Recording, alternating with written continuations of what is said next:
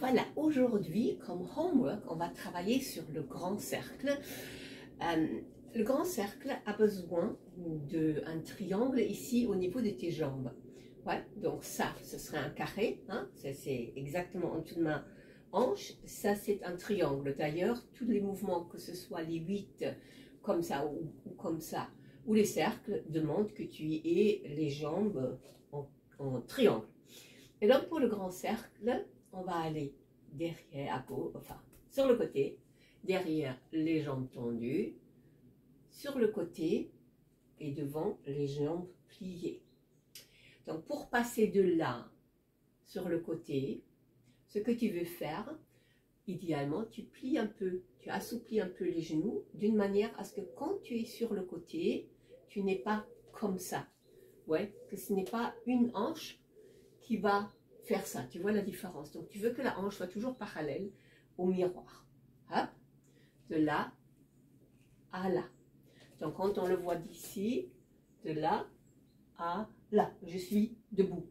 Et puis, quand je vais devant, je plie les genoux et je vais là. Donc, je ne suis pas comme, comme ça, là, avec la hanche, mais le corps, il reste entier.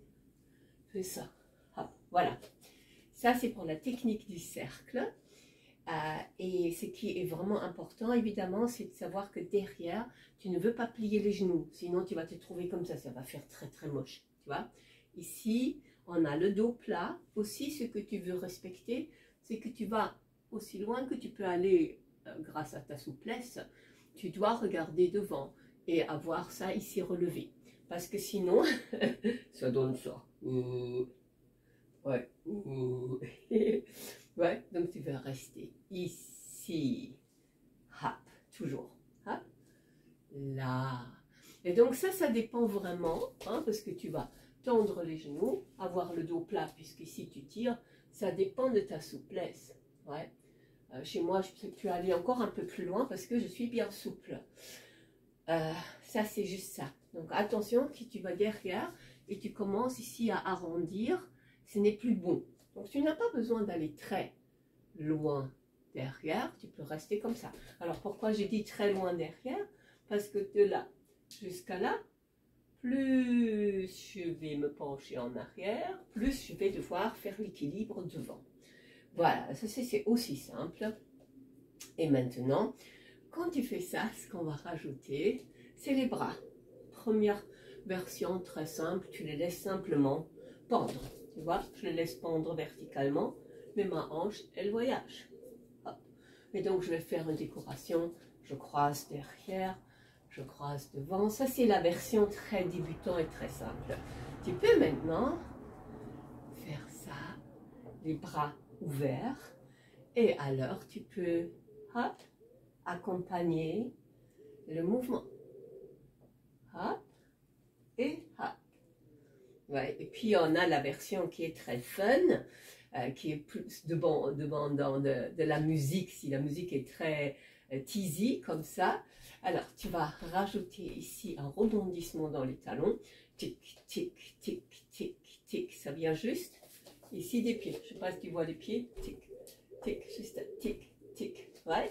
En danse et en danse orientale, bien spécifiquement, tu as un ancrage, mais tu as su beaucoup de force dans les pieds. Donc ça ici, juste rebondir un peu sur les pieds, hop, ouais, tic, tic, tic, tic, tu pars avec la hanche, tu vas regarder, tu vas dire au revoir,